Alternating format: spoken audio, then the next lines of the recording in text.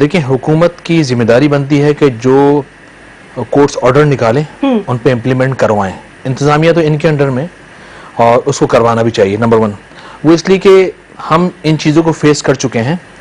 ہمارے رہنماؤں کو گھروں سے آفیسز سے اٹھا اٹھا کے لے جاتے تھے اور لے جایا گیا انہوں نے پھر کورٹوں کو فیس بھی کیا ہے وہاں جا کے اپنے آپ کو پیش کیا ہے۔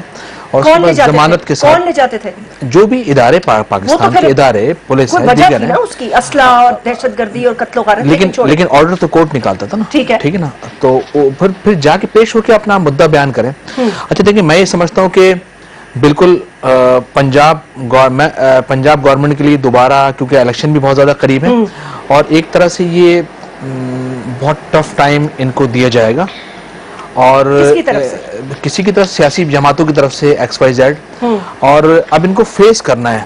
اب ان کے اندر کتنی کیپیسٹی ہے کتنا ٹالرنس ہے کتنا اسٹرانگ ہے یہ۔ نہیں ہے بلا وجہ کی ابھی وہ پارٹی کے سربراہ بنے ہیں انہوں نے یہ سارے۔ معاملات سنبھالنے آگے الیکشن آ رہے ہیں۔ یہ ان کے لیے نیا امتحان بول رہا ہوں نا۔ جس طرح آپ کو یاد ہوگا کہ پچھلی مرتبہ الیکشن کے قریب قریب ایک دھرنا اسلام آباد میں ڈی چوک پہ دیا گیا تھا۔ قادری صاحب۔ بالکل پورے اسلام آباد کو پیرالائز کر دیا تھا بلاک کر دیا تھا۔ اس کے بعد دوبارہ سے ابھی کچھ عرصے پہلے دھرنا ہوا۔